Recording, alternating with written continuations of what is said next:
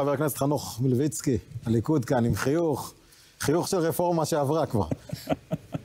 חוזרים לבית הנשיא? לא, מה פתאום. מה פתאום מוחלט, או... שמע, זה לא אני מחליט בסוף, זה ראש הממשלה, אבל על פניו, ומהשיחות ש... שהיו לי איתו בסוף שבוע שעבר, זה לא נראה לי משהו שבכלל מישהו שוקל אותו באיזושהי צורה. זה גם מיותר בינינו, בוא, בסופו של אבל דבר... אבל אתה יודע שגם לא שקלנו, אה, או שקלתם יותר נכון, גם קודם לכן אמרתם, מה פתאום בבית הנשיא, עוד לפני שהתחילו שיחות, מה פתאום בבית הנשיא, מה הוא קשור, פוליטיקה, נכון. ובסוף הכריחו אתכם, והלכתם, זוכר שהכריחו אתכם עוד פעם. אני לא רואה את זה קורה כרגע.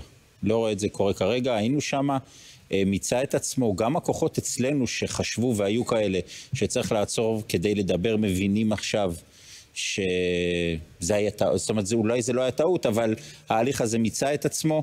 אה, ואני אגיד לך, גם כל מי שהיה אי פעם באיזשהו הליך גישור או משא ומתן מבין שכדי שזה יצליח צריך שמי שבסוף חותם יישב שם.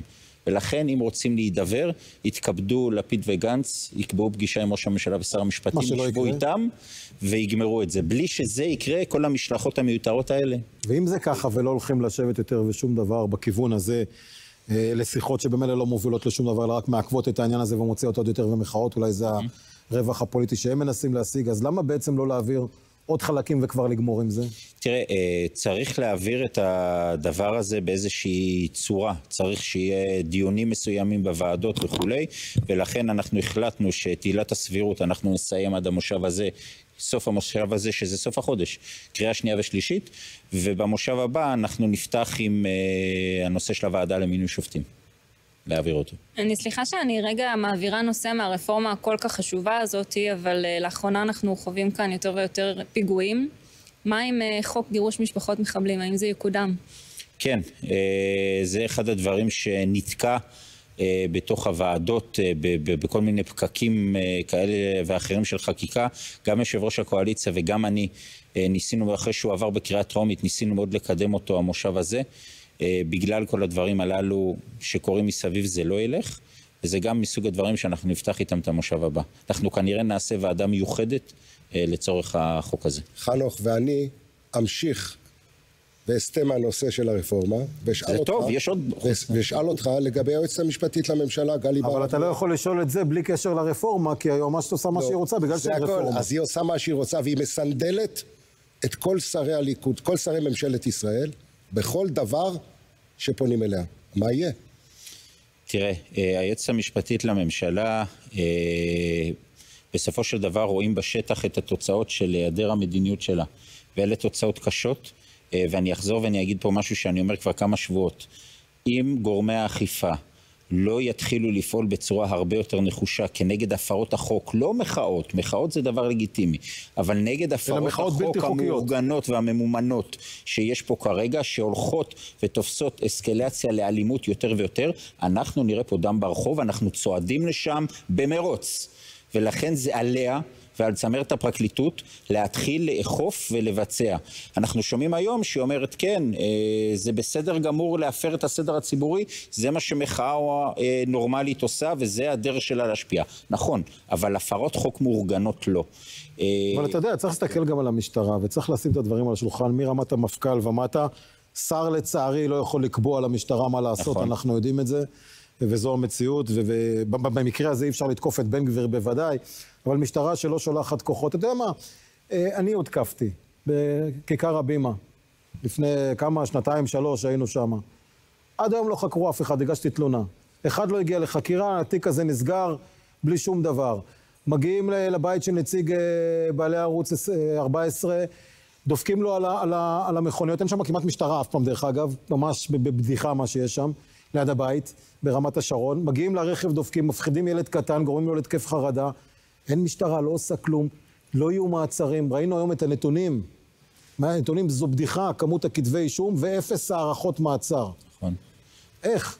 איך? זה נורא פשוט, מכיוון שבסופו של דבר השוטרים יכולים לעצור 24-48 שעות, אבל כאשר הפרקליטים המחוזיים באים ואומרים להם, אל תעשו את זה, כאשר כתבי האישום שכרגע דנים בהם זה כתבי אישום מלפני חצי שנה, זאת אומרת, כל האנשים האחרים שנעצרו, עד שעוד מישהו ידון בהם, זה ייקח חודשים רבים, הם השוטרים שבאים מתעמתים, ואתה יודע, וזה, ועוצרים בסוף מישהו, ורואים אותו משוחרר אחרי שעתיים, הם אומרים לעצמם, למה לי?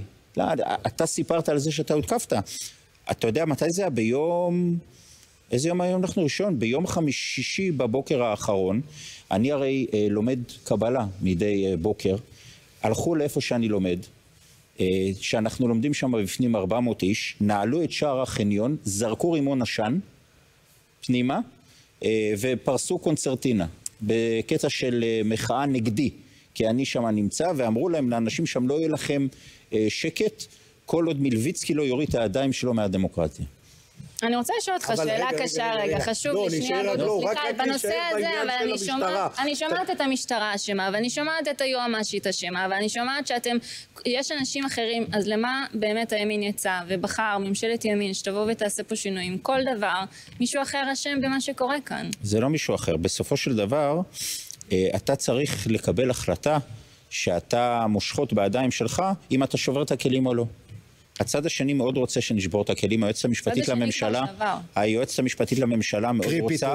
מאוד רוצה שנפטר אותה, מאוד רוצה שנפטר אותה, אה, גם מי ששלח אותה רוצה שנפטר אותה. בג"ץ לא ייתן. אה, וזה בדיוק העניין, זה ייצר אה, משבר ויחזיר את האנשים שהיום לא נמצאים שם, צריך גם להסתכל על האנשים. יש שם 20 אלף איש בערך שעושים את כל הבלגן הזה. אין את הכמויות שהיו שם קודם, ולכן האסקלציה של אלימות עולה, ואנחנו צריכים להחליט מה אנחנו עושים. האם אנחנו נשארים אלו שכן נוהגים באחריות, עוצרים, נושכים את השפה, למרות שזה מאוד מאוד מכעיס וכואב, וכן מנסים ללכת על פי חוק, או שאנחנו מדרדרים למשחק שלהם, וזה משחק חבטות חופשי. ואיפה- אני לא חושב שאנחנו יכולים להרשות לעצמנו להגיע למצב הזה. אבל חנוך, יש את הסיפור של המשטרה, כפי שציינת, שהשוטרים או המשטרה בעצם רואה את העצורים משוחררים לאחר 24 שעות. פחות, שעתיים. אבל זה לא רק, הסיפור הזה הוא לא רק נגד המפגינים או נגד אנשי המחאה, הוא בכלל נגד אנשים שנעצרים.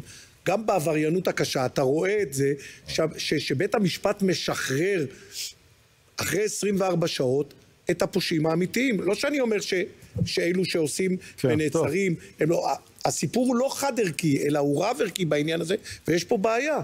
יש פה בעיה בעניין הזה עם המשטרה. לכן, אני מסכים איתך שיש בעיה, ולכן צריך שיהיה שינוי במדיניות אכיפה.